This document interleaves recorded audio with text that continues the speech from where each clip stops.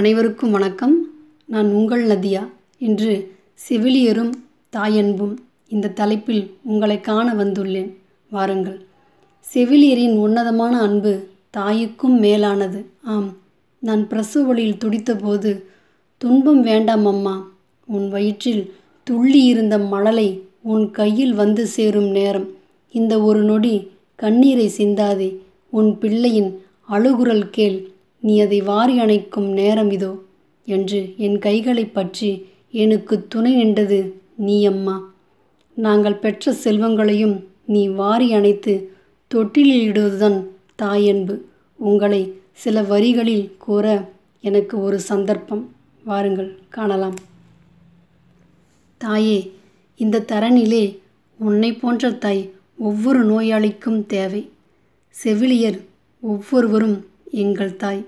எங்களுக்காக இரவு பகலாய் கண்காணித்து கண்மூடாமல் கருணையுடன் காப்பவள் நீ தாயே.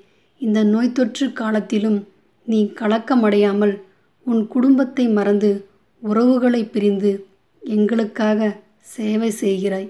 எங்கள் வீட்டில் ஒருவர் இறந்தாலே எங்களால் ஒரு மாத காலம் அதன் நினைவிலே வாடிவிடுவோம். ஆனால் தாயே ஒவ்வொரு நோயாளியும் நீ தாயாகவும் தந்தையாகவும் உடன் பிறந்தவர்களாகவும் தோழனாகவும் பார்த்து பார்த்து கவனிக்கும் அன்பு உள்ளமே. அதில் எத்தனை ஆத்மாக்கள் இறக்கின்றன? அதையெல்லாம் எப்படி தாங்கிக் கொள்கிறாய்? பார்த்து பார்த்து பணிவடி செய்த நபர் இறந்து விட்டார்களே என உங்கள் மனம் குமருகின்றதா? செவிலியர்களும் மருத்துவர்களும் எங்களுக்கு மறு ஜென்மம் கொடுப்பவர்கள்.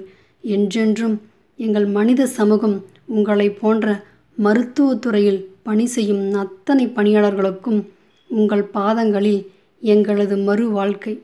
இக்கொரோனா தொற்றால் இப்பணியில் இறந்த மருத்துவத்துறையைச் சார்ந்த அனைவருக்கும் உங்கள் பாதங்களில் எங்களது கண்ணீர் பூக்கள். நன்றி. பிடித்தால் லைக் பண்ணுங்கள் ஷேர் பண்ணுங்கள் கமெண்ட் பண்ணுங்கள் மறக்காமல் சப்ஸ்கிரைப் பண்ணுங்கள் தேங்க்யூ